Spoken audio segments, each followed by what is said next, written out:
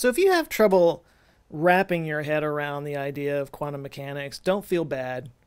Einstein did too. You know how the name Einstein is just now just like an adjective for somebody who's really smart because he was so smart? Well, even Einstein really struggled with quantum mechanics. The whole idea that a particle could just be in a probability state that doesn't actually become a physical particle until it's observed or measured in some way, that made no sense to him. The idea that a tiny piece of actual matter could just become a math equation, he just couldn't reconcile that. So he, along with a couple of scientists named Podolsky and Rosen, created a paper that they called the EPR paradox. This came out in 1935, and what he wanted to suggest was that there was something called hidden variables that were inside of these particles that guided them from start to finish. He spent the final years of his life trying to prove hidden variables, and he never did it.